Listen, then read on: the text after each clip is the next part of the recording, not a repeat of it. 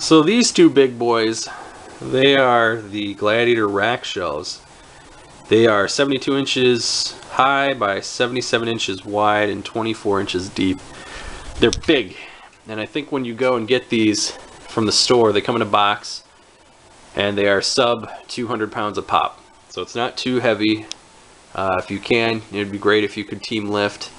Uh, if you're on your own and you're sliding out of the back of your truck or your mommy mobile with the seats folded down, be prepared uh, to have your dolly handy because it will make the, the work a hell of a lot easier. So what the heck is there to say about these things? Well, not a whole lot to be honest with you. It, it, these are shelves. I mean, what the heck do you say about something that's a big giant shelf? Uh, but there are some good things I can say, and uh, just a very small cons. But the pros holds a hell of a lot of weight, 8,000 pounds, at least per what the manufacturer says, 2,000 pounds per shelf. They're super duper easy to build. It's recommended in the instructions, and if common sense prevails, you may want to have somebody to help you. If there's a way you can prop things up to a certain way, and you can do it on your own, go for it. Uh, be safe, but no, absolutely no tools required. You get everything you need to go, ready to rock and roll. Uh, finish is good. Cons, uh, the finish, despite the fact that it's good, uh, it, it, ablates a little easily where the metal on metal contact point is, which is to be a little bit expected. You can see I've got a little bit of a shaving right there because I had to make an adjustment. Is that the worst thing? Oh, hell no, not not for a second. Um, if you go on their website, you'll see if if, if cosmetics are important to you, you see the little gladiator logo throughout um, their example, but you don't see the big old honking gladiator wordage on there. So if that's a big deal to you, try to get over it because these are pretty handy.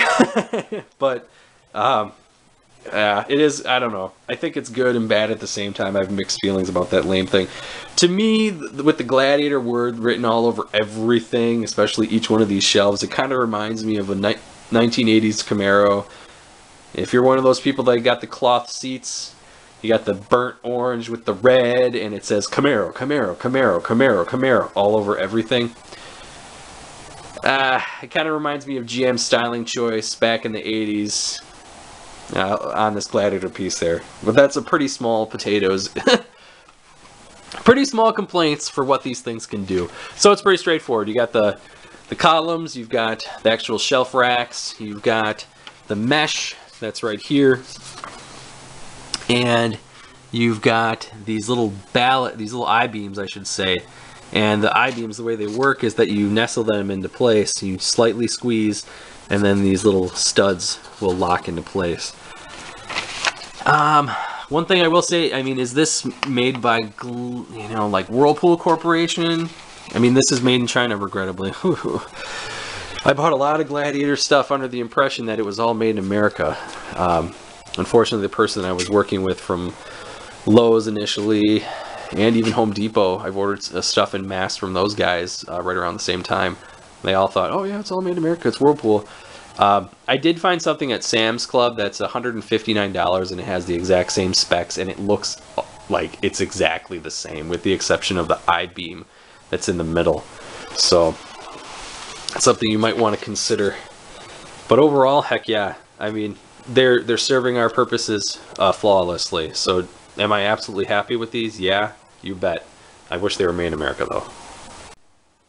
One thing I wanted to go ahead and add about these things is that, I didn't think that I added it before, but um, these are $200 a piece, each one of these uh, rack shelves.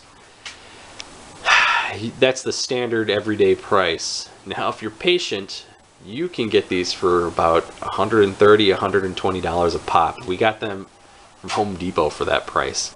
Uber sale. And when you consider that price versus what the competition has to offer,